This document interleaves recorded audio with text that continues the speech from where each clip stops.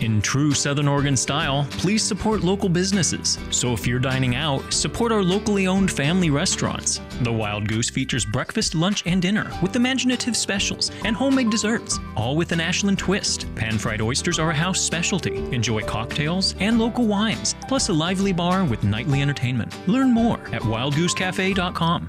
Keep your dining dollars local. To find more locally owned restaurants in Southern Oregon, go to doitnorthwest.com.